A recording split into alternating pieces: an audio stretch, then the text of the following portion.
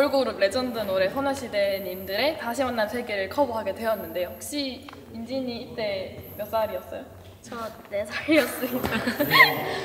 와 지금 4살 때 나온 노래를 커버하는 소감이 어떤지 어, 유치원 다닐 때, 어린이집 다닐 때 들었던 노래를 이렇게 커서, 네, 커서 커버하게 돼가지고 정말 좋습니다.